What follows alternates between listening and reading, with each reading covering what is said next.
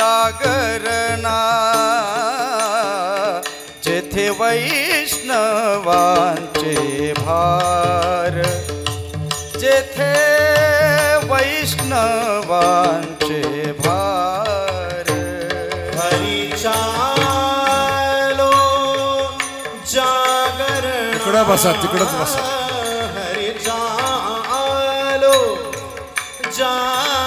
खाली बसा तिथंच बसा जाग्यावर बसा खाली बसा तिथं जाग्यावर.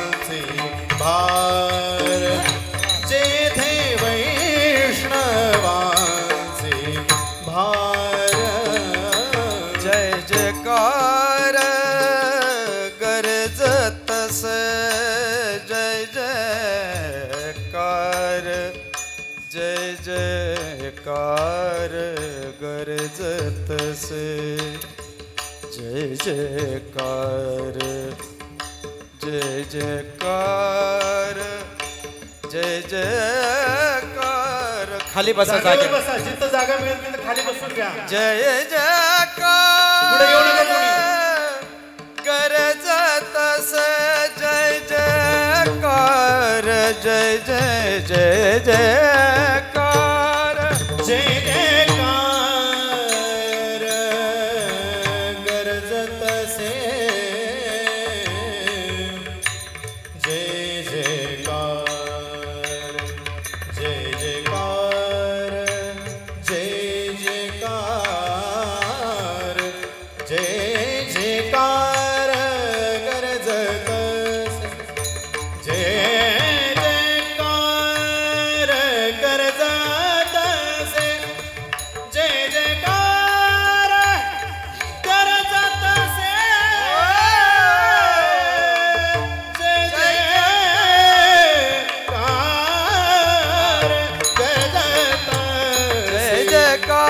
जय जयकार जय जयकार जेथे वैष्णवांचे भार.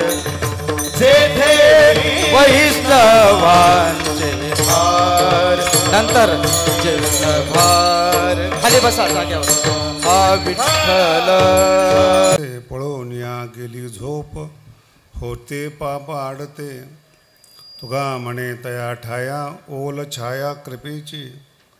जेथे वैष्णवांचे भार जय जयकार गरजतसे विठ्ठल विठ्ठल विठ्ठल विठ्ठल विठ्ठल। पुरुष जर उत्तम असेल तर उत्तम कार्य होतं हे पुरुषोत्तम महाराजाकडून शिकण्यासारखं आहे. आणि मला आत्ता आत्ता कळालं हे उत्तम पुरुष असे आहेत की आमचे सगळे कीर्तनकार महाराष्ट्रातून निधी गोळा करतात आणि हे उत्तम पुरुष कीर्तनकाराकडून गोळा करतात विठ्ठल विठ्ठल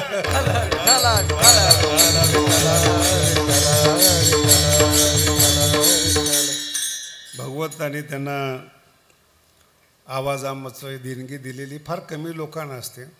काही देणग्या नैसर्गिक असतात त्याच्यामध्ये ते एक आवाजाची देणगी आहेत. बऱ्याच लोकांना गळा असतो आणि बाकीच्यांना नरडं असतं.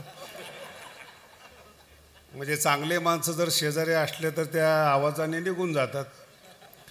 पण महाराजांचं कमी वयामध्ये खूप मोठं कार्य आहे. आणि स्वतःच्या वर्गणीतून कीर्तनाच्या वर्गणीतून आणि कीर्तनकाराच्या वर्गणीतून. दोन्ही धरावे लागतील ना आता. छान मंदिर बांधले ज्ञा ज्ञानेश्वर महाराजांचं माऊलींचं मंदिर आहे चोखोबारायांचं आहे. भगवान श्रीकृष्णावर प्रेम असल्यामुळं त्यांचंही आहे.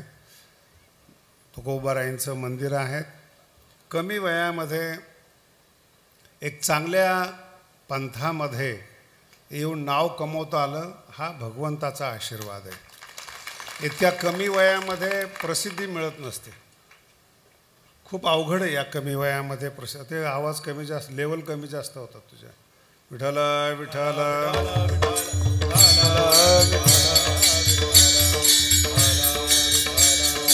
थोडा ट्रबल आणि बास ठेव आणि इको कमी कर जरा. विठाल विठाल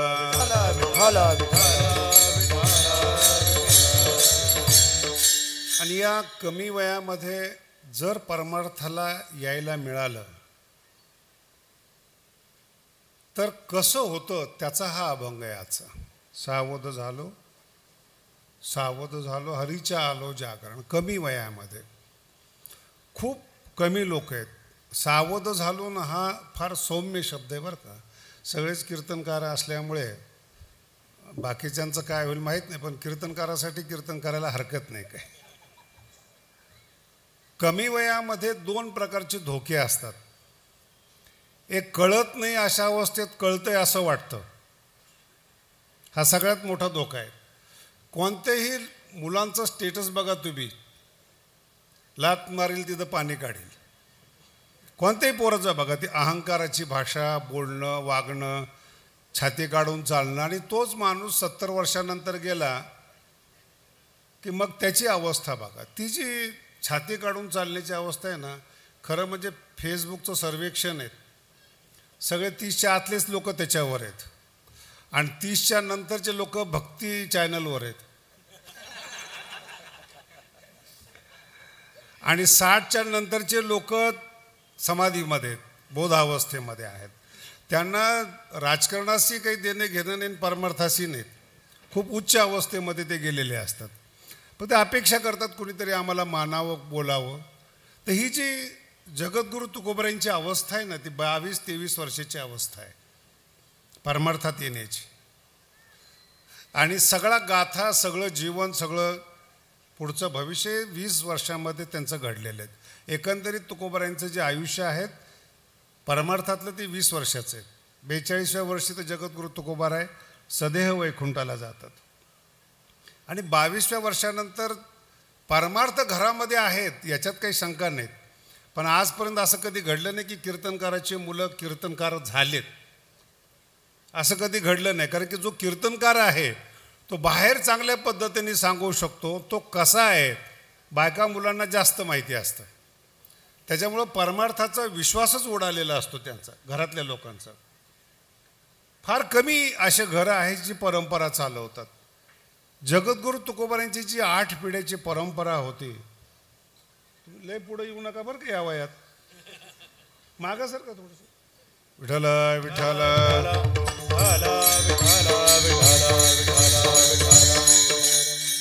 आणि त्या कमी वयामध्ये ज्यावेळेस परमार्थाला यायचं असतं ते का आलो त्याचं हे अभंगामध्ये कारण आहे. सौम्य शब्द आहेत सावध झालो सावध सौम्य शब्द आहेत तुकोबारांचे खरा भाव असा आहे अक्कल आली असा अर्थ आहे. या अभंगाचा जो खरा भाव आहे अक्कल आली असा अर्थ आहे. सावध झालो असा अर्थ नाही. तुकोबराय स्वतः बोलतात सावध झालो. पण त्याचा जर अनुवाद करायचा असेल तर त्याचा अर्थ असा होतो की अक्कल आली. चुकीच्या मार्गाने चुकीच्या रस्त्याने चुकीच्या ज्ञानामागे चुकीच्या नेत्यामागे चुकीच्या महाराजांच्या मागे मी जात होतो. असं काही समजू नका की परमार्थामध्ये चांगलाच मार्ग आहे. जसं राजकारणामध्ये दोन प्रकारची लोक असतात समाज कल्याण करणारे असतात आणि आत्मकल्याण करणारे असतात.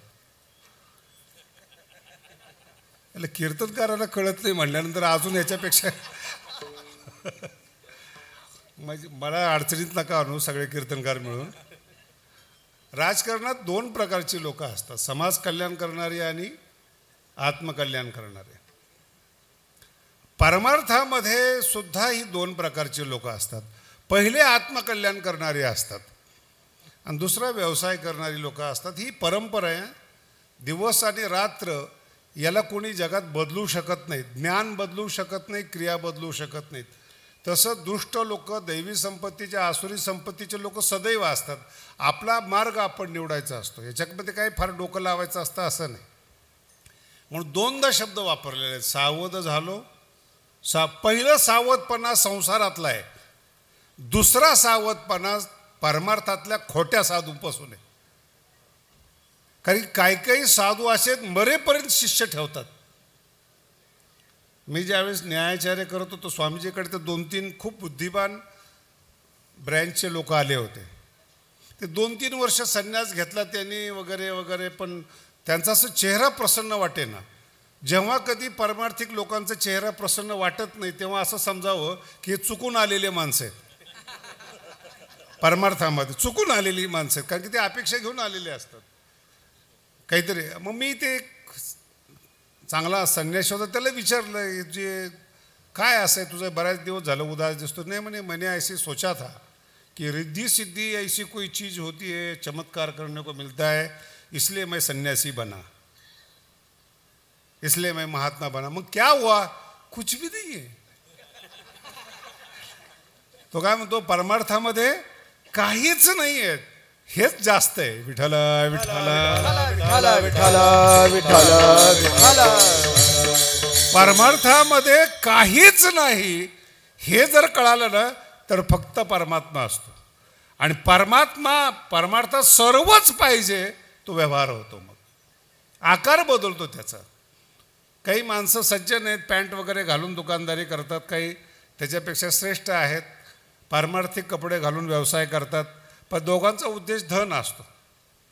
पण काहीच करायचं नाही केवळ परमार्थ करायचा आहे ही अक्कल येणं अवघड आहे. आणि एक लक्षात ठेवा परमार्थ सुरू का करायचा याचं सुद्धा याच्यामध्ये कारण आहे संसाराचं स्वरूप ज्याला कळालेलं आहे वर्म ज्याला संसारातलं कळालेलं आहे त्या माणसाचा हा अभंग आहे. जर संसार न कळता सोडला परमार्थामध्ये पुन्हा संसार सुरू होतो. मराठी किती कळते माहीत नाही मला.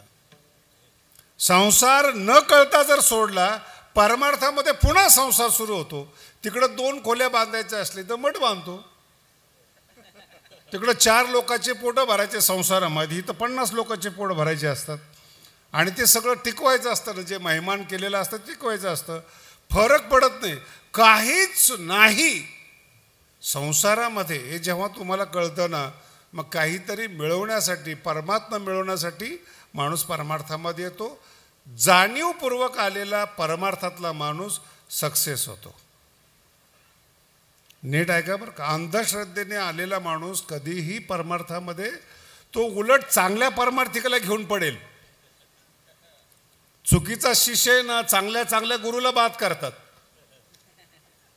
मी एका महाराजांची खूप बदनामी झाली. तुरुंगामध्ये गेला त्या महाराजाला मी विचारलं हे तुरुंगात जायची परिस्थिती कशी आली?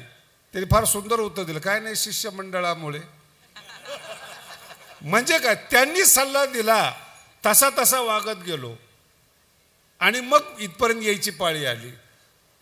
मी त्याला म्हटलं काही टेन्शन घेऊ नको तुरुंगात आला असे काही फार विशेष नाहीत. आमचा परमात्मा इथून बाहेर गेलेला आहे. कृष्ण परमात्मा तुरुंगातून बाहेर आलेले आहेत. मग आता तेव्हा तू इथून पुढे विचार कर बाहेर येण्याचा विचार कर. पण ते शिष्यमंडळाचं जाळं असं असतं. आता विषय निघालाच सांगतो तुम्हाला.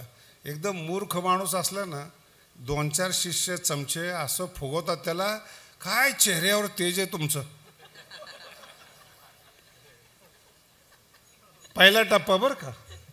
जर कुणी असं म्हणलं ना चेहऱ्यावर तेज आहेत अहो परमार्थात उपास तापास करून मरायची पाळी येते. एकादशीच्या दिवशी असलेली ज्ञानेश्वरी विसरते. आणि हा सांगतो काय चेहऱ्यावर तेज आहेत. पहिलं खोटं. तिथून थोडंसं आणि दुसरा माणूस आला ना, आज काय बोललात तुम्ही? हृदयाला लागलं. पतनाची दुसरी पायरी. हृदयात लागलं. आणि तिसरे जेव्हा लोक येतात हार फिर ती सगळ्यात जास्त. तुम्ही एक लक्षात ठेवा निंदेनं माणूस जागा होतो जो बुद्धिमान असतो. आणि स्तुतीनं बुद्धिमान माणूस पतित होतो. सगळ्यात मोठी पायरी आहे पतित होण्याची. रामायणामध्ये एक गोड प्रसंग आहेत हनुमंतराय लंका जाळून आले. हनुमंतराय लंका जाळून आले. रामचंद्र प्रभूच्या पाया पडल्या तर ती कीर्ती पसरलेली होती. रामचंद्र प्रभू म्हणतायत हनुमंतराय काय पराक्रम केलात? एका राजाची राजधानी जाळली तुम्ही. घर नाही राजधानी जाळली. हनुमंताने घट्ट पाय धरले. रामचंद्र प्रभू म्हणतात असं का करताय तुम्ही? नाही नाही म्हणे सामान्य लोक जेव्हा स्तुती करतात तेव्हा आमच्यासारखे सावरले जातात. पण देव ज्यावेळेस स्तुती करतो तेव्हा पडायची जास्त भीती असते.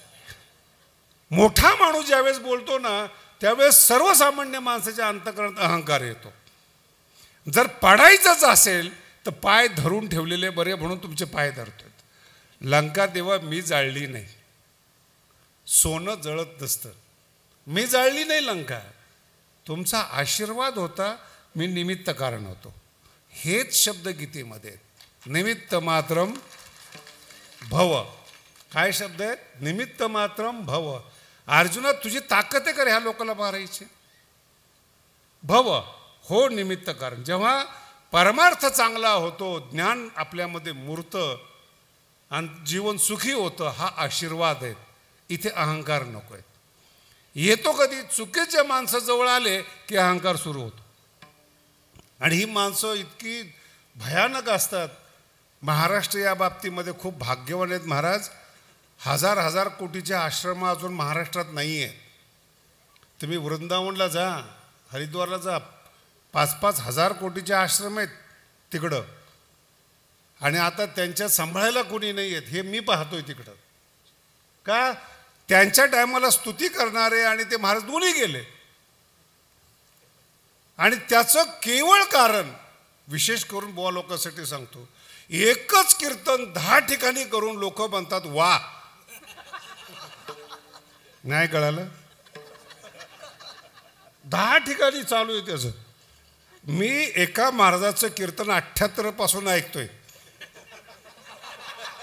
अजिबात बदल नाही.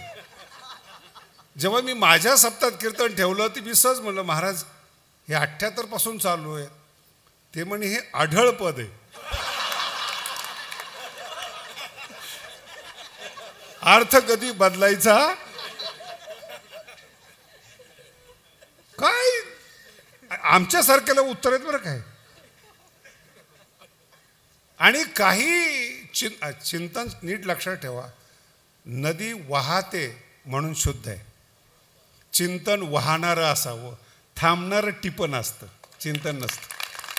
कीर्त अभंग एकच असू द्या दहा वेळा करू द्या. प्रवाह बदलतो. न्यायशास्त्रामध्ये खूप चांगली म्हण आहेत. एका नदीत दोनदा स्नान नाही करता येत. ज्या पाण्यात स्नान केलं ना ते निघून गेलं. पुन्हा उडी मारायला आला दुसरं पाणी आलेलं असतं. जिवंत नदी. ज्ञान गंगे नहाल याला साधू म्हणतात. विठ्ठल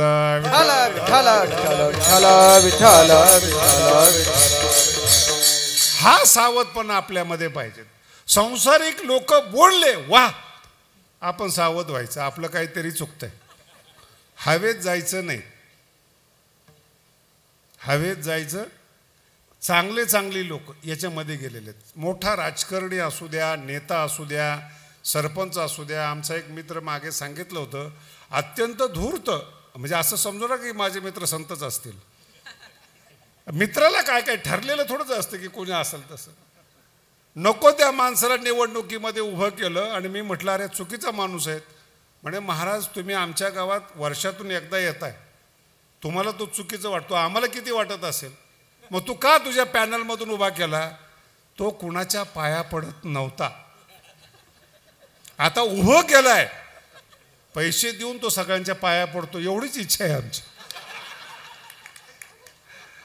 स्तुती सावध झालो. पहिला शब्द आहे सा कोणापासून सावध व्हायचंय? आपलं जीवन जिथं थांबवलं जातं त्या संसारात पहिल्यांदा सावध व्हा. आणि दुसरा शब्द असा आहे आमचे कीर्तनकार आहेत दुसरा शब्द असा आहे आपल्या बोलण्याला जर परमार्थिक लोक चांगले म्हटले तर पुन्हा सावध व्हा. दोनदा सावध व्हायचे. जर हरीच्या जागरणाला आजचा दिवस जागरणाचा आहे हरीच्या जागरणाला यायचं असेल तर दोन वेळा सावध झालेला माणूस मग परमार्थाला योग्य अधिकारी आहेत. पहिला संसारिक लोकांपासून शिकवतातच. नाही बोलू तुम्हाला एक व्यवहार सांगतो मी तुम्हाला एक प्रश्न विचारतो. संपूर्ण जगात एक मान्यता आहे योगाने रोग जातो. बरोबर आहे का? योगाने औषधं कशाला विकता? हाय कुणाकडे उत्तर? योगाने रोग जातो. औषधं कशाला विकतात? एकदा का व्यापाऱ्यामध्ये साधू सापडला ना व्यापारीची ताकद आहे साधूला सुद्धा व्यापारी बनवतात. जो विकला जात नाही योगा तो सुद्धा विकला जातो व्यापाऱ्याच्या संगतीमध्ये. फार अवघड आहे हे प्रकरण. बरं आता दुसरा टप्पा असा आहे का पैसे कमवू नये? अर्थ हा पुरुषार्थ का कमवू नये? कमवा. भौतिक जीवनामध्ये त्याला मर्यादा आहे. फार शब्द आहे भौतिक जीवनामध्ये काय काय नवीन काय घेणार तुम्ही? एकदा घर बांधलं एकदा गाडी घेतली एकदा कपडे घेतले. काय करणार आहे नवीन? तीच मुलं तेच घर तेच बोलणं पैसा वाढला म्हणून नवीन येत नाही. परमार्थामध्ये नित्य नूतन आनंद आहे. जो आज आनंद आहे तो उद्या नाही उद्या नाही तो परवा नाही प्रतिक्षणी नाही तो. हा परमार्थ आहे. नित्य नूतन. रोज ज्ञानेश्वरी वाचा नवीन आनंद येतो विठाल विठाल विठाल विठाल विठाल विठाल विठाल बसा विठाल विठाल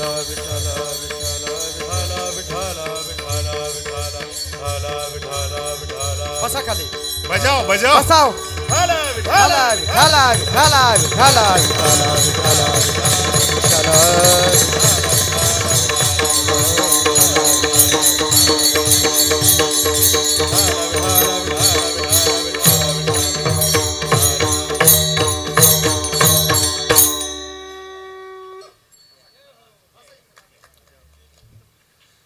लक्ष्मीचा भाऊ आहे शंख तो भीक मागायला कामाला होतो किती वाईट गोष्ट आहे. विठाला विठाला विठाला विठाला विठाला विठाला नवीन काहीच नाही संसारामध्ये काहीच नवीन नाही. आश्रम बांधा संसार करा. पदार्थ तेच असतात. भगवंतांनी निर्माण केलेलं सिमेंट दगड बिकट सगळं तेच. माणसं माणसंच आहे शेवटी. काही करू शकत नाही माणसं. परमार्थामध्ये वेगळं आहे. समाधी अवस्था आहे नित्य नूतनता आहेत ज्ञानाचा अनुभव आहेत चिंतनाचा अनुभव आहेत हजार प्रकारचे अनुभव आहेत. पण ज्याला मिळालेलं आहे त्याची संगत जर नाही मिळाली तर चुकीचा महाराज मरेपर्यंत शिष्य बनवून ठेवतो म्हणून सावध झालो. काहीच नसतं. आळंदीमध्ये सुद्धा असे काही आश्रम आहेत तिकडं आहेत कुछ नाही बेटा सेवा करो। कितना दिन सेवा करो अपने आप ज्ञान हो जाएगा। कुठलं संत सूत्र आहे आपने आप ज्ञान हो जाएगा। काय? सावध जा. ह्या संतापासून सावध राहा. दुसरा शब्द पुन्हा ऐका. जो साधू संसारासाठी आशीर्वाद देतो तिथून सावध राहा. जो संसार साधूनी सोडलेला आहे तोच संसाराचा पुन्हा तो आशीर्वाद देतो. किती मूर्खपणा आहे हा. याने सोडलेला आहे. याचा झालेला नाही संसार याने सोडलेला आहे. तो दुसऱ्याला आशीर्वाद देतो. कुठलं पुण्य आहे? तुकोबरायांचा निर्याण प्रसंगामधला एक फार गोड प्रसंग आहे. जेव्हा तुकोबराय सदैव वैकुंठ गमनाला चालले सगळे गावचे लोक आले काही राजकारणी आले महाराज तर तुम्ही चाललात वैकुंठाला आशीर्वाद देऊन जा. जगद्गुरु तुकोबाई वैकुंठाला जाताना सुद्धा पुण्य खर्च करत नाही याला परमार्थ म्हणतात. पुण्य खर्च करत नाही याला परमार्थ म्हणतात. आता आशीर्वाद तर द्यायला पाहिजे ना. आलेले आहेत मागायला तुकोबारांचा शब्द पा किती सुंदर आहेत. कर्म धर्म तुम्हा असावे. तुमचं कर्म तुमचं धर्म कल्याणकारी हो हो. नाही कळलं? म्हणून तर अभ्यास करायचा आहे.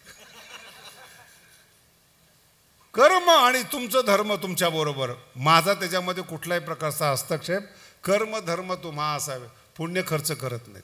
पुण्य साठा आहे. पुण्य तुमचं व्यक्तिमत्व आहे. पुण्य तुम्हाला उजागर करणार आहेत. पुण्यामुळे देव भेटतो. पुण्यामुळे ज्ञान होतं. पुण्यामुळे परमार्थ होतो. पुण्याची गणना कोण करी? हा साठा आहे परमार्थातला. आणि हे पुण्य जर खर्च करायला लागला ना तुम्ही संसारिक लोकापेक्षा ऐश्वर्यसंपन्न जीवन जगता येतं परमार्थात. पुण्य खर्च करत असाल तर. आणि मग त्या पुण्याची या ही ओवी ना फार गोड आहेत. लक्ष देण्यासारखी उटी शब्दाचा खूप सुंदर अर्थ आहे. आतमध्ये मूर्ती असते आणि वरून उटी लावली जाते. कीर्तनकारासाठी बोलतोय. आतमध्ये ओरिजिनल मूर्ती असते. आणि वरून उटी लावली जाते.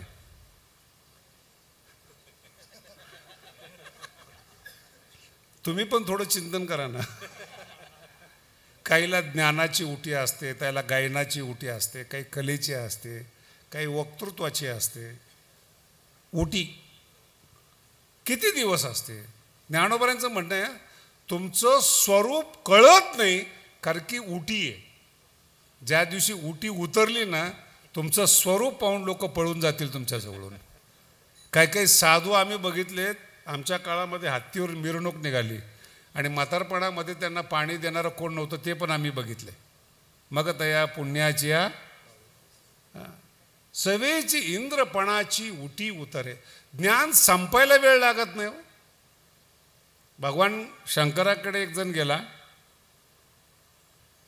त्याने सांगितलं महाराज थोडंसं रिद्धीसिद्धी कमी द्या.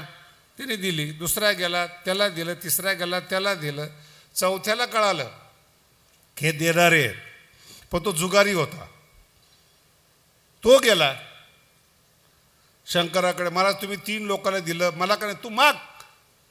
जुगारी काय म्हणलं माहिती का? आम्ही सोडावं मागणं तुमच्याकडे किती ते सांगा. लावू आपण डावावर. भगवान शंकर जुगाऱ्याला पण देऊ शकत नाही. काय म्हणतो तो? लावा. काय तुमच्याकडे काढा आपण डावावर लावू. लक्षात येते अतृप्त आत्मा म्हणतात त्याला. काही माणसं इतके श्रीमंत आहेत. वर्णन आलेले काय काय लोकांचं. पाचशे वर्ष रोज दहा लाख खर्च केले तरी संपणार नाही. अरे ठीक आहे आयुष्य कुठून आणणार? तारुण्य कुठून आणणार? चमक कुठून आणणार तुम्ही? कधी ना कधीतरी या मृत्यूलोकातून तुम्हाला जायचं आहे म्हणून सावध झालो. जगद्गुरु तुकोबारांचं पारमार्थिक आयुष्य वीस वर्षाचं आहे. वीस वर्षामध्ये भगवंत भेटले परिपक्व झाले देव भेटले अभंग निर्माण झाले आणि सदेह वैकुंठाला गेले. मी कीर्तनकारासाठी सांगतोय. किती वर्षाचा आहे परमार्थ तुकोबारांचा वीस वर्षाचा. आणि ज्यांनी ऐंशी वर्ष परमार्थ केला ते इथेच आहेत अजून. जुने कीर्तनकाराचे ते एवढ्या समस्या आहेत महाराज. ते आम्हालाच येऊ सांगतात महाराज जरा तरुण पोरांना सांगा आमचा आदर ठेवा म्हणून. म्हटलं सांगून आदर ठेवला जात नाही आहे तेवढा सांभाळा. काही जुने कीर्तनकार आहेत कीर्तनकाराबद्दल जास्त बोलतात पैसे घेतात मानधन घेतात वगैरे वगैरे बोलतात. मलाही तक्रार केली महाराज तुम्ही दोन शब्द बोला. म्हटलं किती घेतात ते? अजून मी दहा हजार वाढवायला लावतो. म्हटलं असं का? समजून घ्या बरं का. परमार्थ देखील समजण्यासारखा आहे. जेवढे नेते लोक आहेत यांची आय टी यंत्रणा आहेत. प्रचार प्रसार करणारी यंत्रणा आहेत. आय टी सेल म्हणतात त्याला. कार्यकर्ते आहेत. ते जे काम करतात ते समाज तळागाळापर्यंत पोहोचवतात. म्हणजे कार्यकर्ते जे तळागाळापर्यंत पोहोचवतात ते फुकट पोहोचवतात का? बोला ना. आता हे पण कीर्तन सांगायचं काय? काही ना काहीतरी दिलं जातं त्यांना त्यांचं कुटुंब सांभाळलं जातं त्यांचं घर सांभाळलं जातं त्यांना कॉन्ट्रॅक्ट दिलं जातं कार्यकर्त्यांना श्रीमंत केलं जातं. जर एक नेता आपल्या कार्यकर्त्याला श्रीमंत करतो तर माऊली आमच्या कीर्तनकाराला श्रीमंत करत असतील तर तुमच्या पोटात का दुखतं? माऊलीचा प्रचार करता येते माऊलीची यंत्रणा आहे ती. का त्यांना का तुमच्या पोटामध्ये दुखतं? हा जेवढं त्यांना मिळतंय तेवढं तुला मिळत नसेल त्याला काय करायचं? विठ्ठला विठ्ठला. विठाला विठाला विठाला आमच्या नारळी सप्तामध्ये माझाच मित्र होता. खूप अभ्यास आहे त्याचा. संस्कृतचा खूप अभ्यास आहे. त्याचा अभ्यास माझ्याशिवाय कुणाला समजत नाही.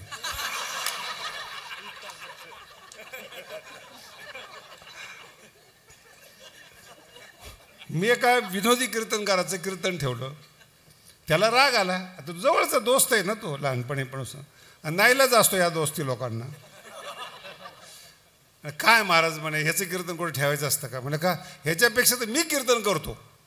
चांगलं कीर्तन करतो. असं कोण म्हणतं? मी म्हणलं त्याला. मी म्हणतो तेच तर प्रॉब्लेम आहे. समाज म्हणला पाहिजे कीर्तन आवडतं. माझा मुद्दा लक्षात मी सपोर्ट करतोय असं नाही म्हणून मी स्तुती करताना म्हटलं गळा ईश्वराने दिलाय पुरुषोत्तमाला. त्याचा आनंद घ्या. तो किती घेतो याच्यावर विचार नका करू. अगदी उघड बोलतोय. निसर्गाने दिलंय ना त्याला. निसर्गाने एखाद्याला विनोद बुद्धी दिलेली. तुम्ही करा बरं विनोद. काय काही असे कीर्तनकार आहेत विनोद करायला गेला तर अगोदर ते हसून घेतात. आणि त्यांच्या हसण्यावर लोक हसतात. मग यांना कळतं की कशावर हसले. विषयाची मांडणी वक्तृत्व या सगळ्या गोष्टी महत्त्वाच्या आहेत. का असं होतं जीवनामध्ये? निसर्गाने दिलेल्या आहेत. नैसर्गिक बुद्धी आणि एक लक्षात ठेवा भगवंत एकासारखं एक कधी तयार करत नाहीत. हा नियम आहे? मागे षष्टीच्या टायमाला हा विषय झाला होता माझा. ज्ञानेश्वर महाराज हे महाराष्ट्राला मूळ आहे. महाराष्ट्राचा आत्मा म्हणजे ज्ञानेश्वर महाराज आहेत. विठोबाचा प्राण सखा शब्द आहे प्राण. म्हणजे हातपाय कापले तरी चालतात. माणूस जिवंत राहतो. पण श्वास नसला तर तसं विठ्ठलाला जर जिवंत ठेवायचं असेल तर माऊली हे प्राण आहेत. संतांची वाक्य आहेत आणि मी माझ्या कीर्तनकाराला सांगितलं की ज्ञानोबराय आहेत. नाथ महाराज नामदेव महाराज तुकोबाराय सगळे माऊलीचं अनुकरण करतात. पण माऊलीची भाषा कुणाला बोलता येत नाही? निवृत्तीनाथांना बोलता येत नाही. बाकीचं सोडून द्या. सगळे कीर्तनकार विद्वान माऊलीचं अनुकरण करतात. सगळं माऊली माऊली मानतात. सगळे अनुकरण करतात. त्यांची भाषा कुणाला बोलता येत नाही? पण माऊलीचाच प्रचार सगळे करतात. काय एकेकांचे शब्द आहेत महाराज? कैवल्याचा तुकोबरायासारखे मज पामर आहे हे अवघड आहे बरं. देवाशिवाय कुणाची स्तुती न करणारे तुकोबार आहे मज पामर आहे काय? ही ज्ञानाची उंची आहे. मी अजून काय बोलतोय तुम्हाला समजत नाही तुमच्या चेहऱ्यावर मला येते काय म्हणतात ते? ही ज्ञानोबरायांची उंची आहे. सगळे संत मन- मान्य करतात ज्ञानोबरायांची उंची आहे. आणि महाराष्ट्र गल्ली बोळातल्या एखाद्या महाराजाला संत मानतो हे त्याचं पाप आहे. सगळा महाराष्ट्र ज्यांना माऊली मानतो ती माऊली कळत नाहीत. आणि आशीर्वाद देणारा संत जेव्हा संत वाटतो तेव्हा आपलं पाप आडवं आलेलं असतं.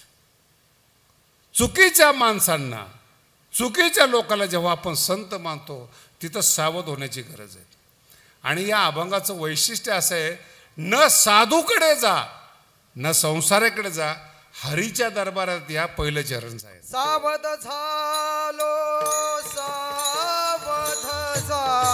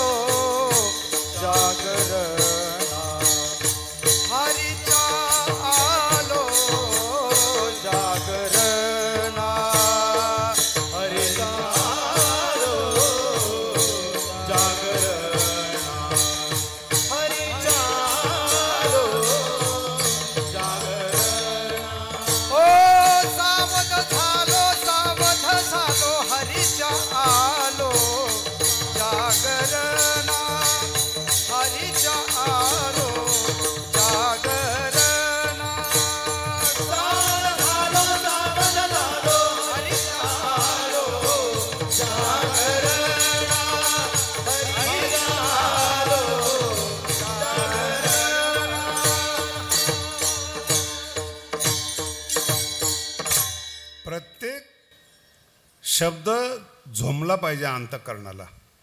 हरीच्या भजनाला आलो असा अभंग नाही आहे. हरीच्या जागरण जाग असणं भगवंताविषयी जाग असणं याला परमार्थ म्हणतात. विठाल विठाल खूप कठीण आहे. हरिपाठावर थोडं लिखाण चालू आहे. त्याचा हा विषय खूप सुंदर आहे. हरिपाठ म्हणणं वेगळं. हरिपाठ कळणं वेगळं. आपण परमार्थ करतो मरेपर्यंत करतो. पण हरिपाठ शब्दाचा अर्थ विचारला कळत नाहीत. हे जागरण म्हणजे हरिपाठ आहेत. आणि ही व्याख्या बाहेरून केलेली नाही आहेत. हरिपाठातली व्याख्या आहेत. सारासार विचार हरिपाठ. हरिपाठ म्हणजे काय? सार काय? आणि आसार काय? याचा विचार करणं म्हणजे हरिपाठ आहे. याला म्हणतात जागरण. जगजोगी जगजोगी. आणि संत जेव्हा समाजामध्ये येतात काही कारण नाहीत. मज निरंतर.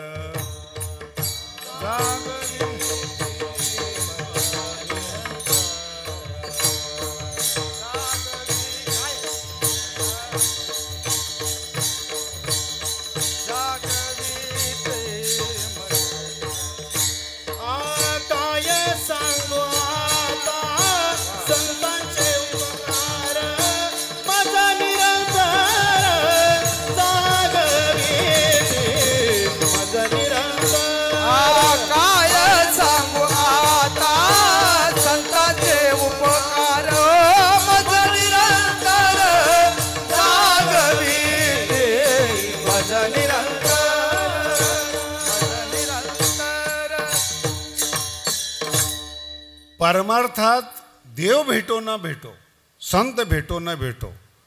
ही जी जागवण आहे ना जाग याचं नाव आहे सावध होणं आहेत काही नाही भेटलं नुकसान नाही चुकीचं भेटलं तर पतन आहे. परमार्थामध्ये एक साधू नाही भेटला तरी चालतो पण रावण भेटला तर अपहरण आहे. नाही ज्ञान भेटलं चालतं पण अज्ञानाला ज्ञान म्हणणं घातक आहे. वेदामध्ये ते इतकं सुंदर दिलेले उपनिषदामध्ये वेदामध्ये याच्यावर स्वतंत्र आहेत. आज्ञानी लोकाला कमी दुःख आहे बुद्धिमानाला जास्त दुःख आहे. विद्यावान जास्त दुःखी आहेत. तुम्ही जर ईशावास्य उपनिषद वाचलं तुमच्या लक्षात येईल काय दिलंय त्याच्यामध्ये. अविद्येवाले नरकात जातातच पण त्याच्यापेक्षा घोर अंधकारामध्ये बुद्धिमान जातात. आज अभ्यास करा या वाणीचा. शहरातले लोक दुखी आहेत. शहरातले लोक टेन्शनमध्ये आहेत. शहरातल्या लोकांना गोळ्या लागतात. आणि ग्रामीण भागामध्ये या मी आता येताना तुमच्याकडे येताना बघितलं मी जरा रस्ता चुकला होता. बाजार रस्त्यात टाकल्या होत्या. वर ईश्वर खाली पृथ्वी आणि मध्ये झोप. टेन्शनच नाहीत महाराज. या झोपेसाठी लोकांना इंजेक्शन घ्यावं लागतं. हे काही बुद्धिमान आहेत काय? आपल्या हाताने आपल्या भोवती जाळं विणलेले आहेत. यथोर्ण नाभी सृज्यते गृहतेच मकडी असते ना ती स्वतःच्या जाळ्यात अडकते. बुद्धिमान लोकांनी आपल्या भोवती कल्पनेचं जाळं विणलेलं असतं. त्याच्यात स्वतःला गुंतून घेतात. माझा मीच झालो कैसा पुत्रदारा कैसा मित्र? स्वतःच्या जाळ्यात. म्हणून नाही मिळालं खरं ज्ञान चालतं. चुकीच्या ज्ञानाला ज्ञान म्हणायला नको. माझ्या एका मित्राने गाय नाचे उडेचा फार सुंदर अर्थ केला होता. वैष्णवा संगती सुख वाटे. दुसरं चरण खूप गाय नाचे उडे. ते ते गाय शब्दाचा अर्थ गायन आहेत कळलंच नाही. डायरेक्ट गाय जशा आनंदी राहते बछड्याच्या अवतीभोवती बरं मी त्याला समजून सांगायला गेलो त्यावेळेस माझं वय कमी होतं. आणि वय कमी असल्यामुळं मला बरंच दुःख भोगावं लागलं त्या काळात. मी म्हटलं अरे ही गाय असं नाही गायन शब्द आहे त्या. हे तुला काय कळते म्हटलं मला कळत नाही पण चुकीचं काय हे तरी कळतंय. तू चुकीचं आहेस. नाही नाही नाही. हेच बरोबर आहे. उडे. आपुलिया छंदे. अरे काय प्रकार आहे ते? काय करणार आपण त्याला? एखाद्या अभंगाचा चुकीचा अर्थ जर डोक्यामध्ये बसला काय करणार त्याला? कीर्तनकार बसलेले आहेत. संपूर्ण महाराष्ट्राला चुकीचा अर्थ कळलेला एका ओवीचा. माझा मराठाची बोल. माऊली किती वर्णन करतात मराठी भाषेचं? रोज पेपरला येतं बरं माझा मराठाची अमृता ते पैजा. आणि या ओवीचा खरा अर्थ असा आहे की आपण सगळी लोक मराठी बोलणारी आहोत. आपली मराठी अमृताला जिंकणारी नाही आहे ज्ञानोबराय म्हणतात माझी मराठी म्हणजे ज्ञानेश्वरीची मराठी अमृत आते पैजा. आपली मराठी जिंके. याची मराठी ऐकली की खालून बायको काठी काढते. डीट बोलता येत नाही का? ही मराठी आहे आपली. काय अमृता ते पैजा जिंके? कसं बोललं पाहिजे? काय बोललं पाहिजे? ज्ञान नाही मिळालं तरी चालेल. पण चुकीच्या ज्ञानाला ज्ञान समजणं पाप आहे. सावध झालो.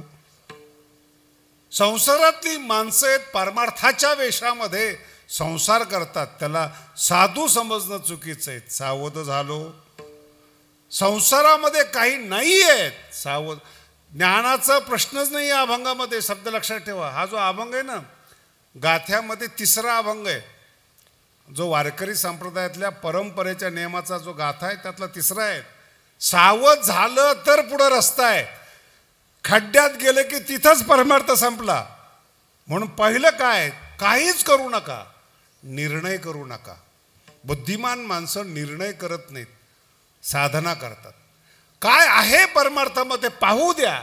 मग निर्णय द्या. म्हणून सावध झालो. आणि सावध होण्याच्या पाठीमागं दुसरा शब्द आहे निरीक्षण. काय शब्द आहे? आणि ही बुद्धी फार कमी लोकांना जीवनामध्ये येते बरं का.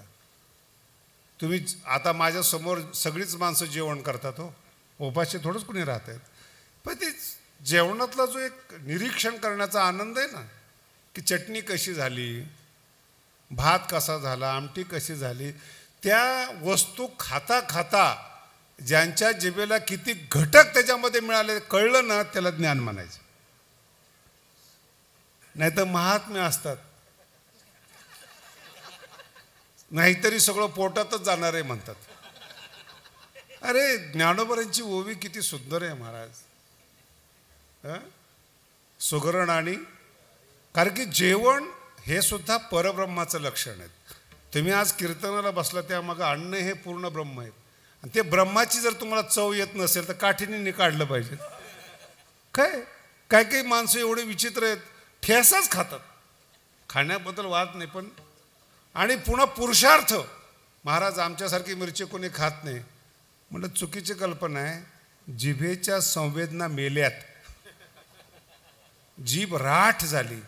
नैसर्गिक स्वाद येत नाही म्हणून अतिरिक्त तुला टाकावं लागते मिरची. आणि मग तेव्हा जीभ जागी होते. जागी होते. आणि मग कळतं की नाही आता जेवण झालं. जेवण नाही आहे जीभ बोथट झाली याचं लक्षण. आहे अजून बोलायचं आहे का तुम्हाला? विठ्ठला विठ्ठला.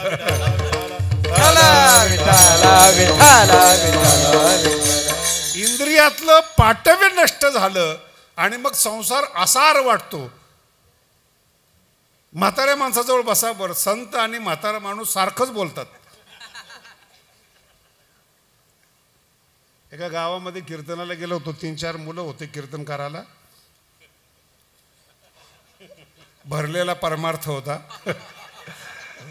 आणि मला त्यांनी विचारलं कीर्तन फार चांगलं करतो पोरा लग्न झालं का? म्हटलं नाही.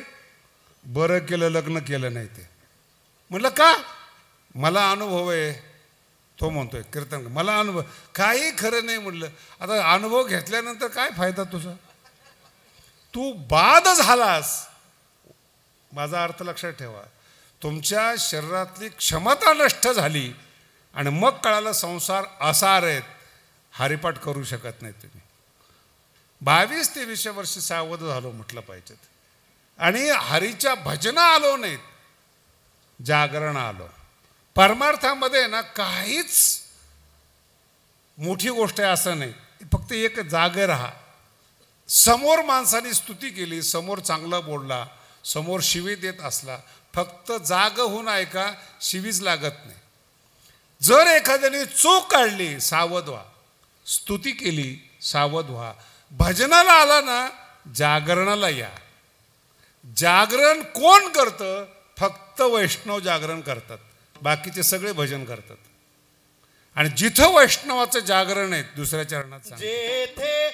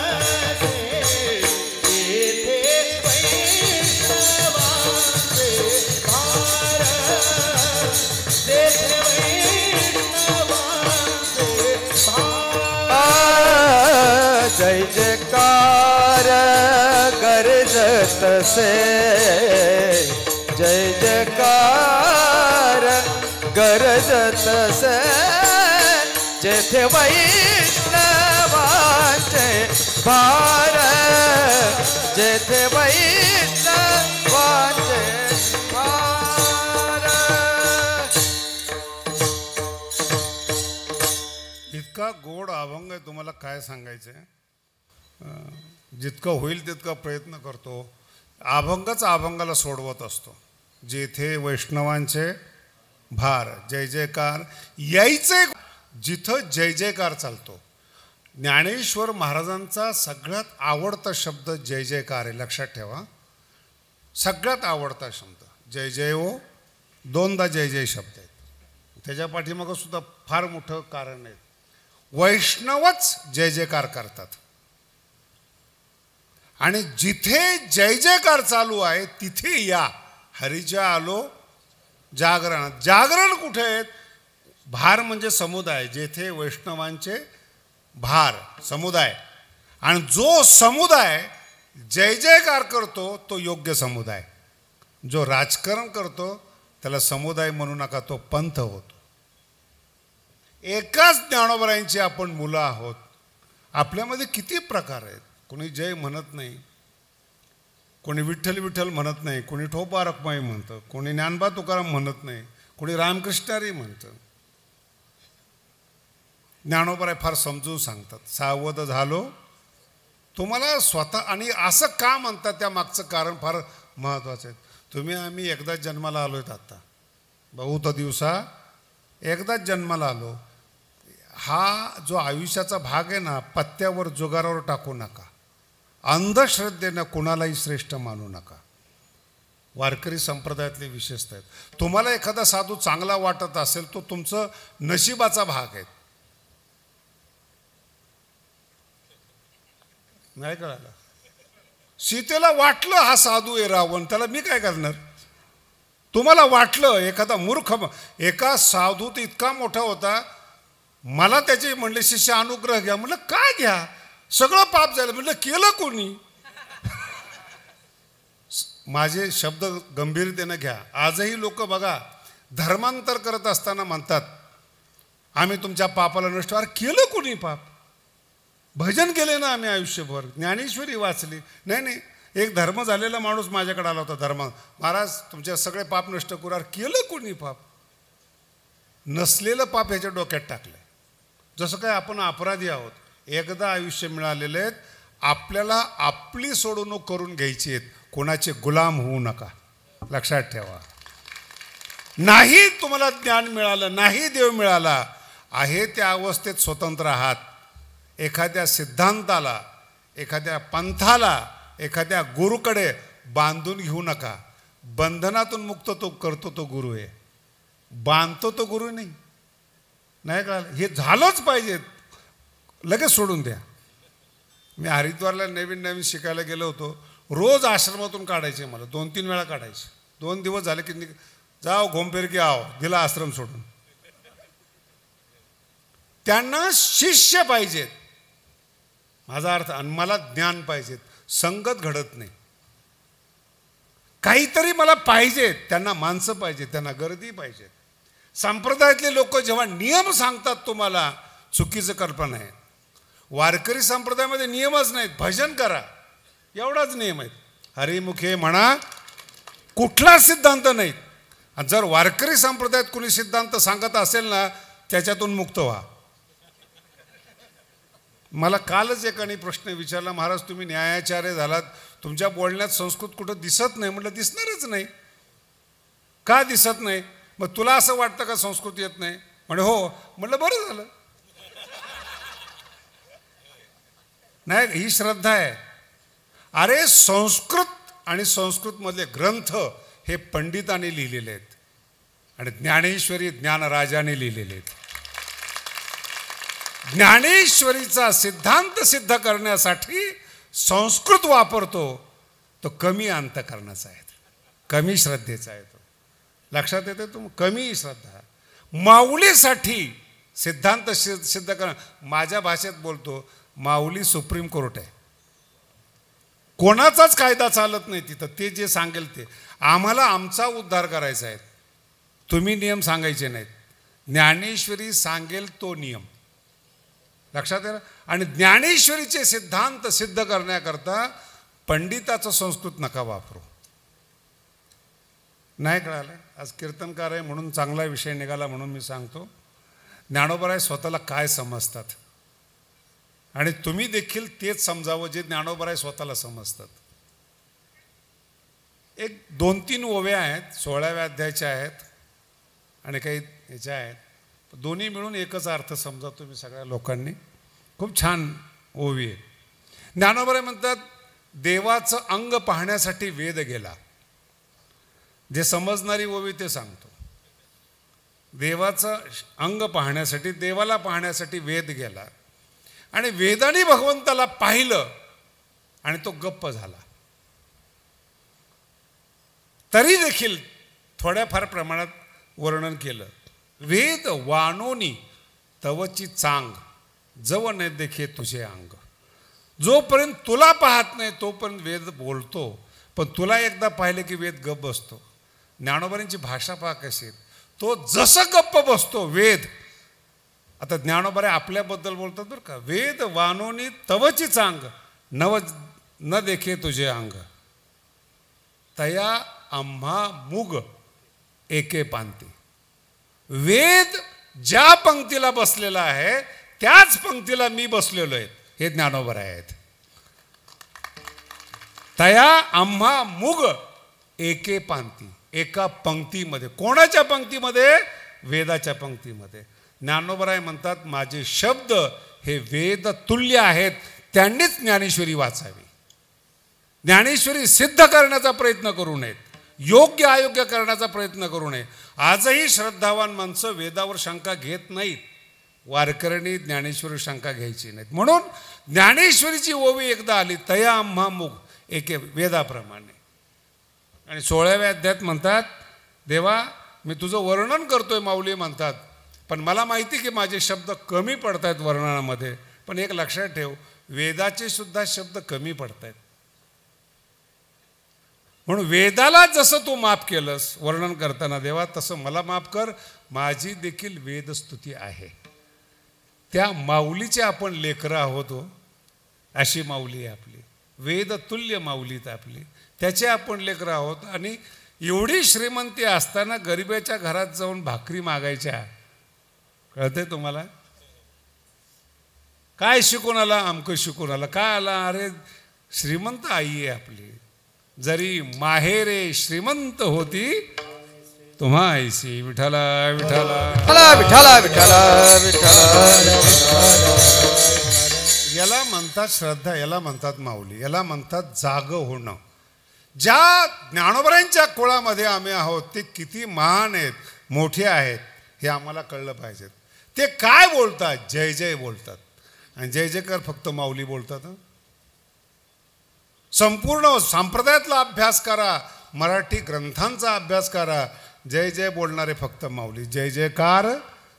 गरज तसे याचा अर्थ असा आहे तुकोबराय म्हणतात माऊलीच्या अंगणामध्ये आलो आणि माऊलीच्या मंदिरामध्ये अंगणामध्ये वैष्णवांचे समुदाय आहेत. जेथे वैष्णवांचे. आणि एकदा या जागरणाला आलो ना पाप निघून गेलो हो.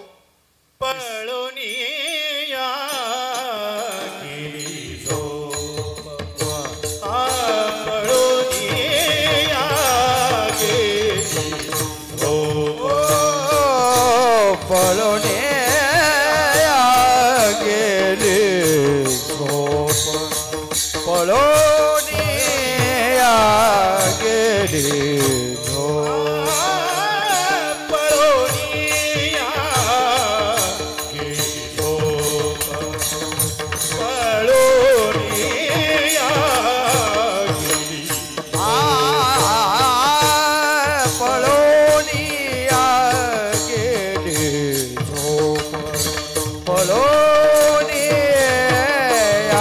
पळोनिया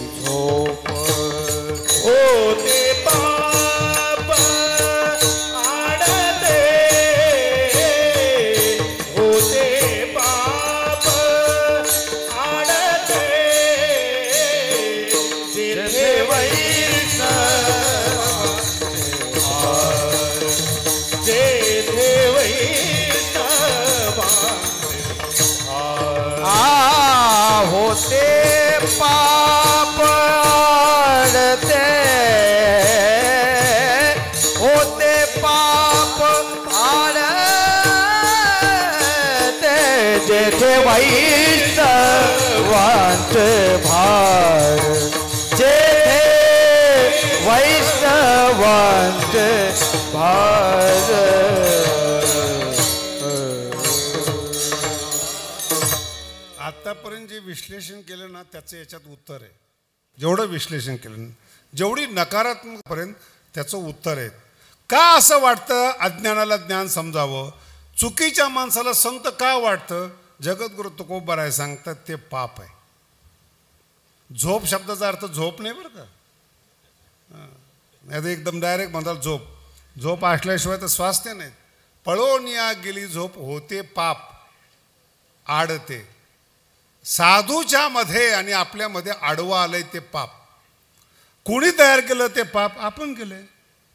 दुसरं कोण कर आपलं पाप आपल्याला आडवं येतं ना. जाता जाता असा एक वेळ प्रसंग येतो साधूकडे जाणार आणि अचानक काहीतरी उलटं सुस्त तिथून परत येत होतो. होते पाप आडते. कधी कधी निश नशीब इतकं साथ देतं पतित होणारा माणूस सावध होतो. कठोपनिषदामध्ये फार सुंदर दृष्टांत आहेत. पंधरा सोळा वर्षाचा कुमार लग्न न झालेला आपल्या बापावर रागवतो आणि यमाच्या द्वारात उभं राहतो. फार सुंदर प्रसंग आहे बरं का. पंधरा सोळा वर्षाचा कुमार आणि तीन प्रश्न विचारतो. ते पोरगच आहे ना हो, कधी कधी कळत नाही. बाप रागवलायत त्याचा राग जाऊ दे यस तथा असतो. स्वर्ग कशाने प्राप्त होतो ते अग्नीचं ज्ञान दे. आणि तिसरा जो प्रश्न गेला त्याचा तो चुकून गेला. काही माणसं म्हणतात मेल्यानंतर आत्मा असतो आणि काही माणसं म्हणतात मेल्यानंतर नसतो. तू यम आहेस. तू मला समजून सांग. आता हे वय पाहिलं पंधरा सोळा वर्षाचं जगणं बाकी आहे त्याचं आणि प्रश्न पाहिला ब्रह्मज्ञानाचा. आत्मज्ञानाचा प्रश्न आहे. आत्म्याविषयी प्रश्न आहेत ये ये प्रेते विचिकित्सा. मेल्यानंतर प्रेतभाव झाल्यानंतर काही लोक म्हणतात असतात. काही लोक नाही म्हणतात. तू सांग. चुकून प्रश्न केला आत्म्याविषयी. या मला वाटलं पोरग आहे. कशाला सांगायची? चांगल्या चांगल्या गोष्टी नाही कळलं अजून. चांगले माणसं खरंच चांगले असतात का याच्यावर संशय घ्या. का चांगली सांगत नाही? मूर्खच आहेत ना. आता आम्ही गादीवर बसलोय. आम्हाला माहिती की आम्ही काय करतो रोज. न ऐकणारी माणसं येतात. ज्यांचा स्वभाव ऐकायचं ती येतात. आणि आम्हाला विचारतात महाराज हा अभंगाचा हाच अर्थ आहे ना? म्हटलं यस. बाहेर जाऊन तो शायनिंग करतो तो. बघ हाच अर्थ आहे का नाही? याच्यासाठी परमार्थ आहे का? आम्हाला लोक विचारतो तुम्ही असं का बोलणार? म्हणजे टेन्शन कुठपर्यंत घ्यायचं? एक माणूस आहे का असा? अज्ञान अज्ञानी भरलेलं जग आहेत आणि ती एक एक एक एक जर आपल्याला त्रास द्यायला लागला तर आपण सुटका कशी करायची? नाम पाठ मौन प्रपंचाचे मौन. काय करणार तू? हा यस. टेन्शनच नाही त्याला. म्हणून कधी कधी चांगली माणसं देखील गप राहतात आपला अधिकार नसतो. त्या माणसावर आक्षेप घेऊ नका की तो चुकीचा सांगतो. आपली लायकी नसते. ते विचारलं तिथं ते यम होता तो त्याने फार गोड उत्तर दिलेलं आहे. काय काही शब्द ते इतके खतरनाक आहेत त्याचे. साधूनी बोलूसुद्धा नाही असे शब्द आहेत. इमा रामा सरथा सतुर्या. अरे तुला पाहिजे तेवढं जगायला देतो. आणि यम सांगतो तुला अप्सरा देतो. इमा रामा सरथा सतुर्या. पण हा प्रश्न विचारू नकोस. अजून बरंचसं प्रलोभन दिलेलं आहेत. राज्य देतो निष्कंठ आता यम जर म्हणलं राज्य देतो ना विरोधी पक्ष जिवंतच राहणार नाही. तो जो पोरगा होता ना हे होते पा पाडते त्याच्यावर सांगतोय बरं का नाही तर पुन्हा मुद्दा विसराल तुम्ही तसे कीर्तनकार आहात विसरलेले.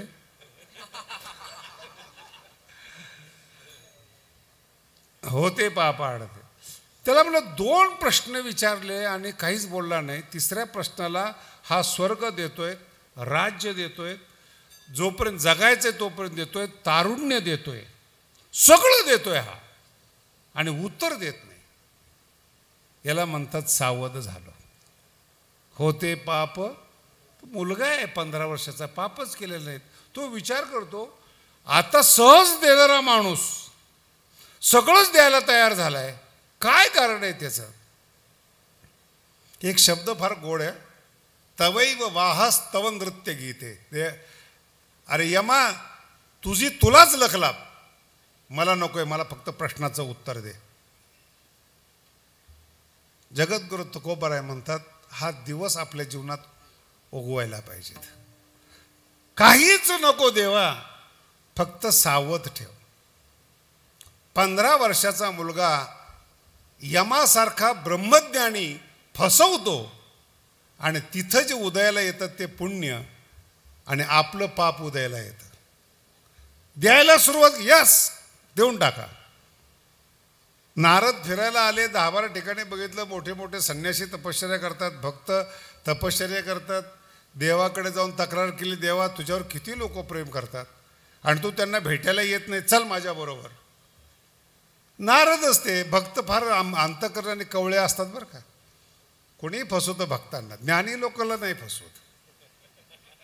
भगवंताला घेऊन आले. भगवंत म्हणले मी वैकुंठाहून आलोय.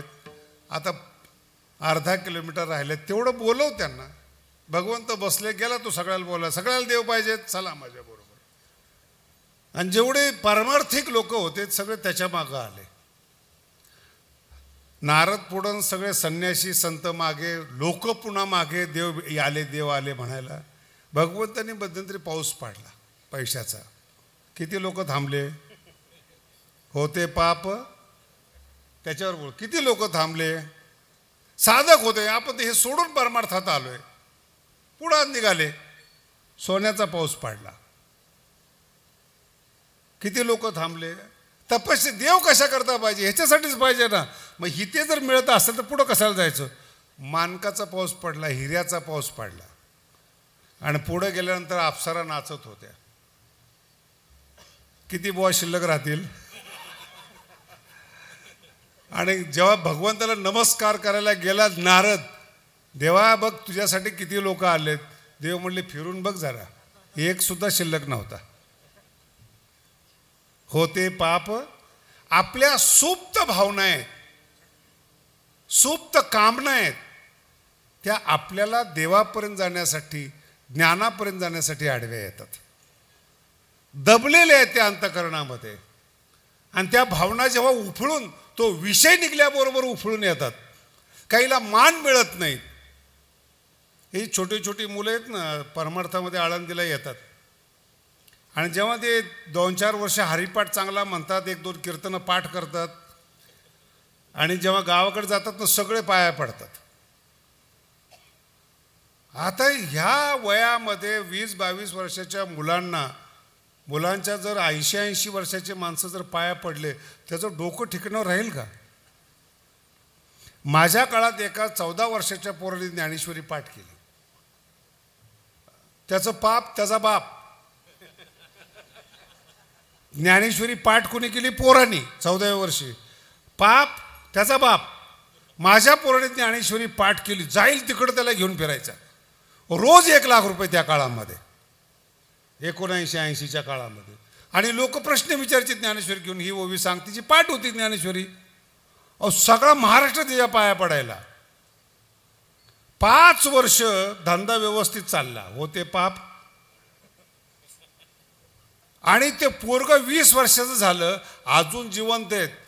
ते फक्त मला एकट्याला माहिती की याची ज्ञानेश्वरी पाठ होती. मग दया पुण्याच्या पावटी त्या कच्च्या वयामध्ये कच्च्या ज्ञानामध्ये जी प्रसिद्धी मिळाली ते पाप त्याने त्या पुण्याचा भाग भोगला शिल्लक राहिलं ते पाप.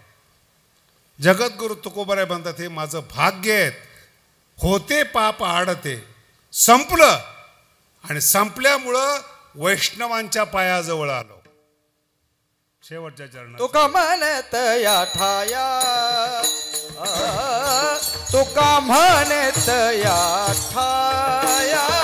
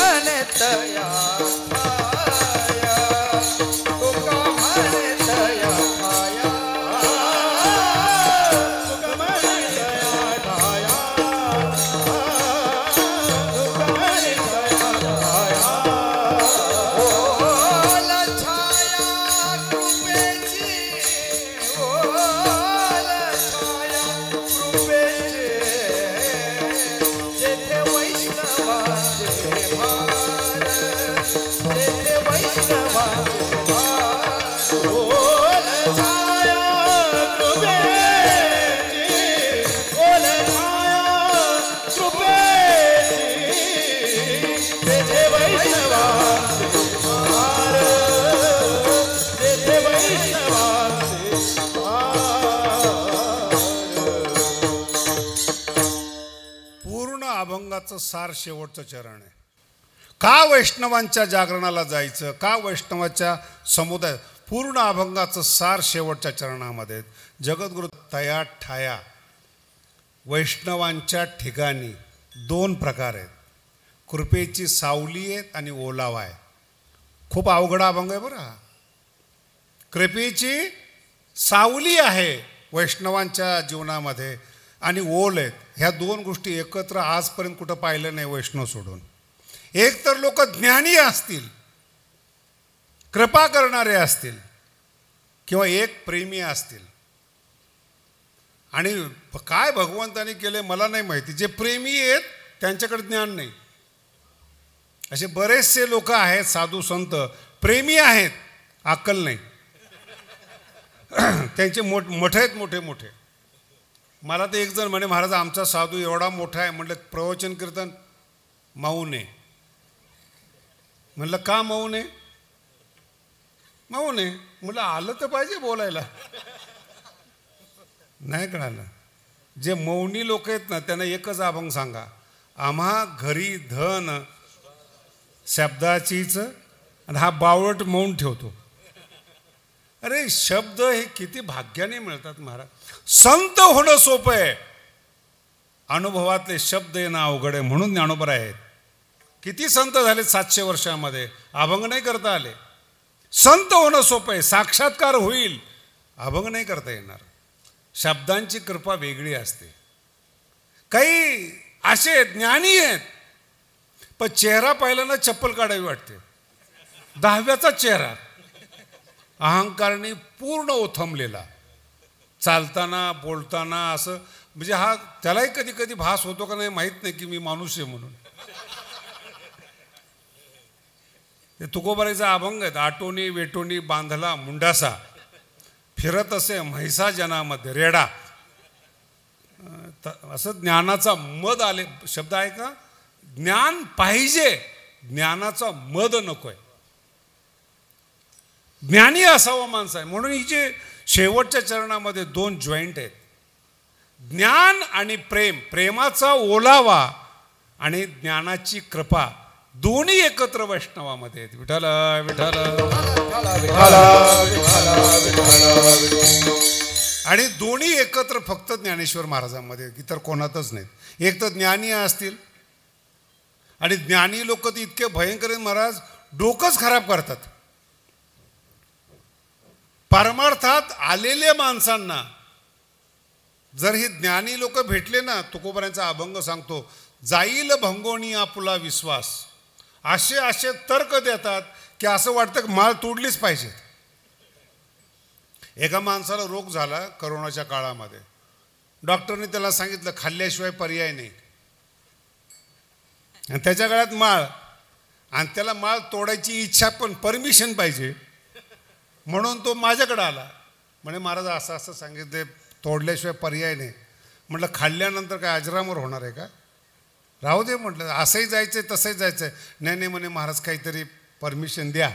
म्हटलं नेमकं इच्छा आहे का तुझी? अजरामर होणार आहे का? नाही बघतो कट्टर राहा. तर्क देतात. जगू शकत नाहीत. अमकं होणार नाही तमकं होणार नाही. माळा तोडतात लोक. काही काही आळंदीला गेलेले महाराज दहा पंधरा वर्षांनी भेटले ना तर हे कधीतरी आळंदीला होते का? याचं नाम निशाण राहत नाही चेहऱ्यावर. आणि ते पुन्हा सांगतात काय खरं आहे आळंदीमध्ये? म्हटलं आळंदी सांगती जगत खरं नाही तर तुझं काय खरं आहे? काय खरं आहे म्हणजे काय? खरं नाही हे सांगतात माऊली. लटिका व्यवहार काहीच खरं नाही तू काय टेन्शन घेतो? तू जे करतो परमार्थ सोडून म्हणून हे दोन शब्द कधी लक्षात ठेवा. प्रेमाचा ओलावा पाहिजे तो ज्ञानोबरायामध्ये. आणि कृपेची पाहिजे. तुका म्हणे तया वैष्णवाच्या संगतीमध्ये तया ठाया.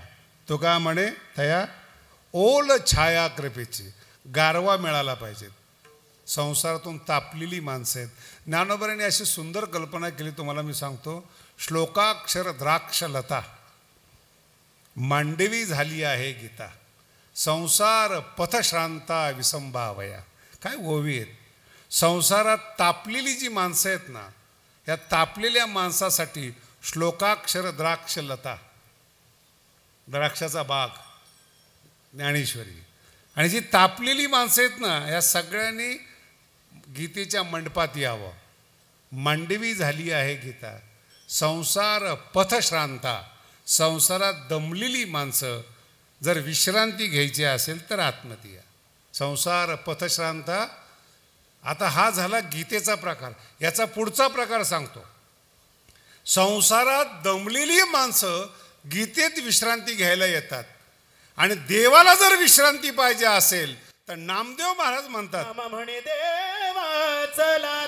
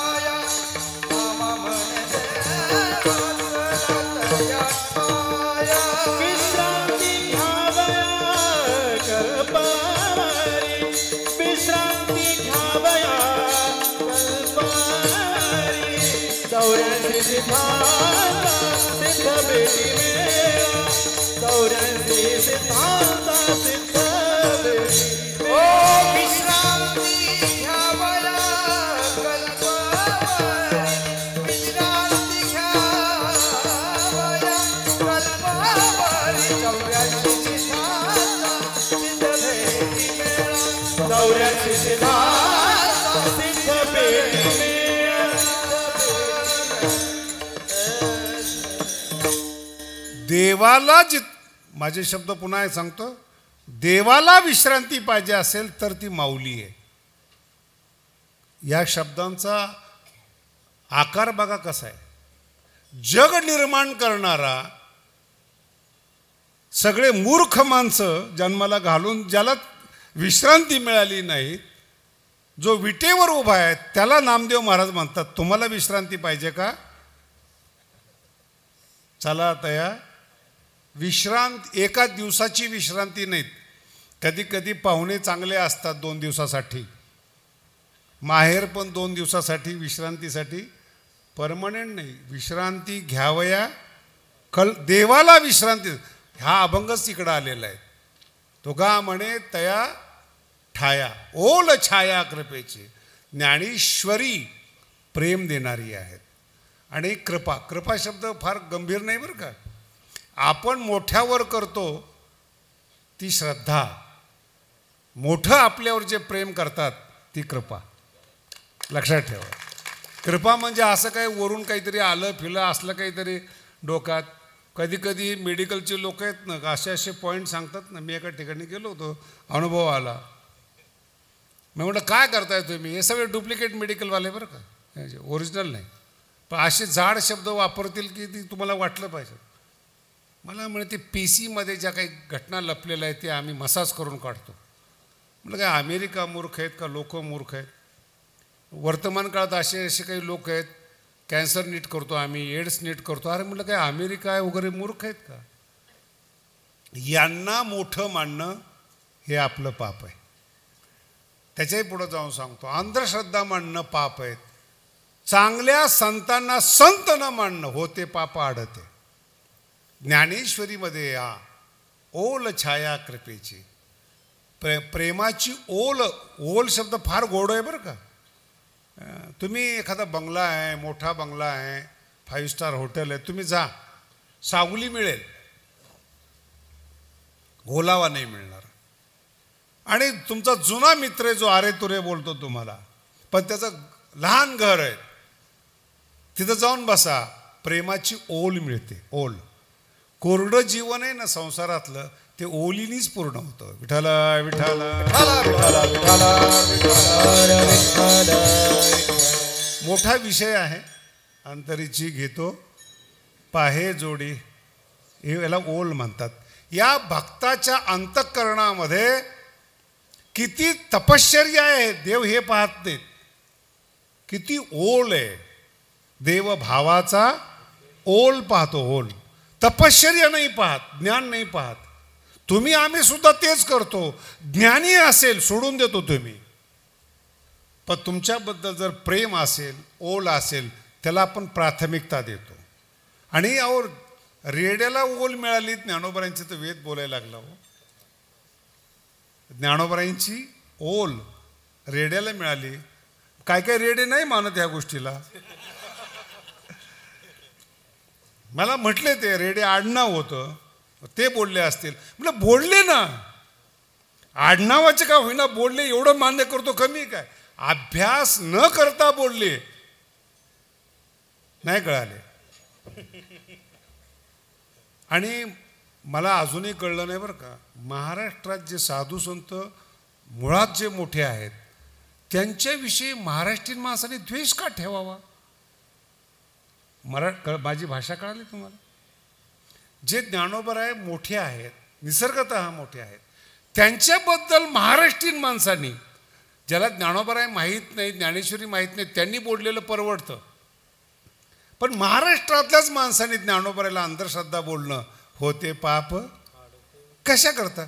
बरं जे संत नाहीत आणि जे महाराष्ट्रातले पण नाहीत आपल्या धर्मातले पण नाहीत त्यांची हे लोक पूजा करतात. मगाशी सांगितलं ना तुम्हाला? एखादं वाक्य असतं. ते वाक्य म्हणून दाखवत नाही पुन्हा केस व्हायची. आणि तेच वाक्य सगळं त्या वाक्याचा अर्थच कुणाला कळत नाही. मी त्यांच्या शिष्याला विचारलं याचा अर्थ काय होतो? संतांचं वाक्य कळत नसतं. होते पाप ओल छाया ज्ञानोबरांची ओल कळाली पाहिजे. आणि मी तुम्हाला आमच्या सगळ्या कीर्तनकाराला सांगतो जीवनामध्ये फक्त एकच करा. ज्ञानेश्वरीचा ओलावा जर तुम्हाला मिळाला ना आपोआप त्यागी व्हाल तुम्ही. आपोआप ज्ञानी व्हाल. आणि त्याचा पुढचा टप्पा सांगतो. तो ओल एकदा मिळाली ना तर ज्ञानेश्वरी श्रीमंत आहे. राजयाची कांता काय भिकम आहे मला सकाळीच फोन करून सांगितलं तुमचे आकडे आम्ही ऐकतो. म्हटलं वाकडे नका हो ओल छाया. का असं होतं महाराष्ट्रामध्ये? का तुम्हाला असं जीवन जगायला मिळतं? माऊलीचा मुलगा हा श्रीमंतच असतो. गरीब नसतो कधी. वारकरी संप्रदायामध्ये आणि ही मागणी पसायदांमध्ये दृष्ट अदृष्ट विजये या पृथ्वीवर तो फाईव्ह स्टार जगला पाहिजेत दृष्ट फळ आणि अदृष्ट फळ दोन्ही माझ्या ज्ञानेश्वरी वाचकाला मिळाले पाहिजेत याला ओल म्हणतात ओल. माझा वाचक याही जगात सुखी पाहिजेत. याही जगात ऐश्वर संपन्न पाहिजेत. आणि अदृष्टही त्याला मिळालं पाहिजेत. नाही कळालं? म्हणून तर मगाशी बोललो म्हटलं कीर्तनकार घेत असतील घेऊ द्या ना हो. त्याच्या नशिबाने नशिबारी दोन चारच लोकांना मिळतात हो. सगळ्या कीर्तनकारालाही मिळतो. श्रीमंत आहे ऐश्वर संपन्न आहेत. आणि जेव्हा कधी एखादा बोलतो कीर्तनकारावर किंवा बाहेरचे लोक जेव्हा बोलतात आपण काही म्हणायचं नाही त्यांना. हो तुमचं बरोबर आहे तुमचं. नाही नाही महाराज हे लोक इतके पैसे घ्या घेऊ द्या ना. त्याचा द्वेष करू नका. कुठेतरी न्यूनगंड त्याच्या मनामध्ये आहेत. याला का मान मिळाला? आम्ही तसेच आम्ही खरे संत असे हेच म्हणतात. ओल मिळवा ज्ञानेश्वरीची ओल मिळवा. अर्जुन कधीही गरीब नव्हता राजघराण्यातला होता. म्हणून वारकरी संप्रदाय गरीब आहेत असं समजू नका. गरिबांना श्रीमंत करणारा वारकरी संप्रदाय आहे. तो ज्ञानाने श्रीमंत करतो पैशाने श्रीमंत करतो अंतकरणाने श्रीमंत करतो. हे ज्ञानेश्वर महाराज आहेत. म्हणून क या तुम्ही जवळ. हे दोन शब्द येथे या जवळ. ओल छाया प्रेम. पहिलं प्रेम. म्हणून तुकोबर आहे कुठेही शिकले नाहीत. ज्ञानेश्वरीची ओल मिळाली. गाथा तोंडातून बाहेर पडला हो. चारशे वर्ष होणं हे सामान्य नाही हा. चारशे वर्षापूर्वीचा महाराष्ट्र पहा रस्ते नव्हते काही नव्हते. त्या काळामध्ये त्यांच्या मुखातून शब्द जन्माला येणं ही ओल म्हणतात. ओल. आणि मी तर एकाला चॅलेंज केलं होतं म्हणजे एक ओवी सांग म्हटलं मी गादी सोडून देतो. ज्ञानेश्वरीच्या एका ओवीचा अर्थ तू बुद्धिमान आहे ना लाव ना डोकं. नाही म्हणे कळत नाही. मग ग बस ना. चारशे वर्षापूर्वीच्या तुकोबरायांच्या शब्दांचा अर्थ कळत नाही. कळत नाही एवढं तर कळू दे. अक्कल नाही एवढं तर कळू दे तुला. कोणाचा द्वेष करावा? ज्ञानोबरायांचा तुकोबरायांचा? ज्ञानोबराय तुकोबरायांच्या प्रसार करणाऱ्याचा? ते त्यांची मुलं आहेत ते. मला तर तरुण पोरांचं एवढं भाग्य चांगलं वाटतं महाराज.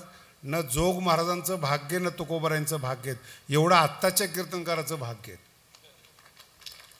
अहो कमी वयामध्ये सगळ्या एक कीर्तन करतात आणि अख्खं महाराष्ट्रामध्ये त्यांचं कीर्तन जातं. केवढं भाग्य आहे.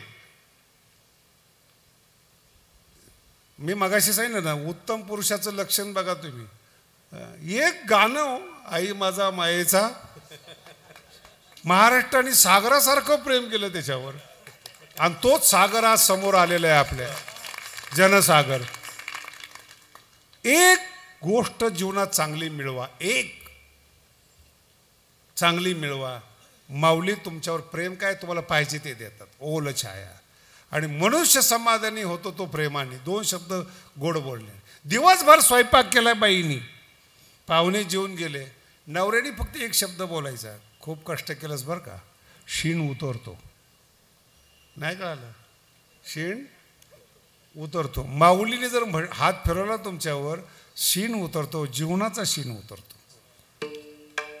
ज्ञानेश्वरीची छाया आणि माऊलीचं प्रेम. असं एकत्रित ज्याला मिळालं ना त्याचं नाव आहे तुकोबार आहे त्याचं नाव आहे ज्ञानोबार आहे. आणि या तरुण पोराचं हे भाग घेत प्रसिद्धी म्हणजे साधी गोष्ट नाही ती आज. हे हिरो बघा हिरोईन बघा काय स्वतःला प्रसिद्धी करत असतात. आणि कीर्तनकाराला अशा पद्धतीची म्हणजे पैसे न बोलवता ही गर्दी येणं हे कोणालाही शक्य नाही अजून. सत्ताधारी लोकांना विचारा एवढे माणसं जमवायला काय लागतं किती लागतं? किती किती ढाब्यावर जेवणं असतात. ही माणसं प्रेम देण्यासाठी येणं याला म्हणतात ओल छाया. आणि हे एकाच ठिकाणी तुका म्हणे तया ठाया वैष्णवांच्या ठिकाणी म्हणून आमच्याकडे येत असताना थोडी अक्कल ठेवा. सावध व्हा. गोड बोलणाऱ्यापासून चुकीच्या परमार्थ शिकवणाऱ्यापासून अयोग्य संसारातल्या सावध व्हा आणि मग आमच्याकडे या. जो सावध झाला त्याच्यावर माऊली कृपा करते. विठो बार